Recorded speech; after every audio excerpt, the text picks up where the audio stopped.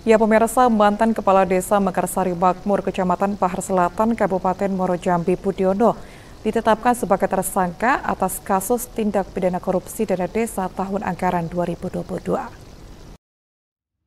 Inilah mantan Kepala Desa Mekarsari Makmur, Kecamatan Sungai Pahar, Kabupaten Morojambi, harus memakai rompi merah dengan wajah tertunduk, Budiono saat dibawa oleh penyidik Polres Morojambi untuk diserahkan ke Jaksa Penuntut Umum atau JPU Kejari Morojambi. Diketahui Kepala Desa Mekarsari Makmur ini merupakan mantan Kepala Desa periode 2018-2023. Kasat Reskrim Polres Morojambi AKP Jimmy Fernando melalui Kanit Tipikor Ibda Sudirman menyatakan berkas tersangka Budiono telah lengkap dan dilimpahkan ke JPU Kejari Puro Jambi. Tersangka Budiono ini diduga merampok dana desa dengan membuat surat pertanggungjawaban atau SPJ fiktif pekerjaan fisik.